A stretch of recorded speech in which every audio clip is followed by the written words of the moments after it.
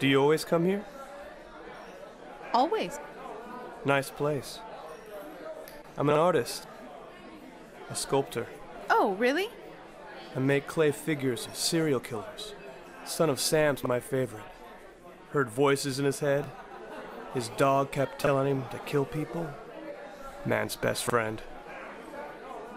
I feel comfortable enough to tell you that one of my favorite clay figures is David Berkowitz.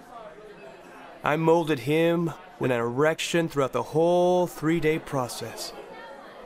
I got no sleep at all, nor did I relieve myself.